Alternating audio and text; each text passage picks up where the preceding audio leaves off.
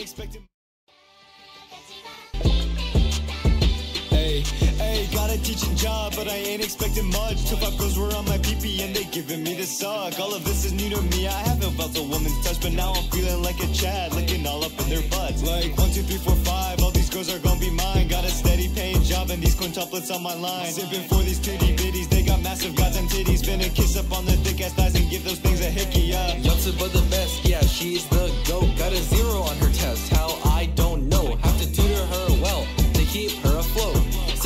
727 p because of a choke.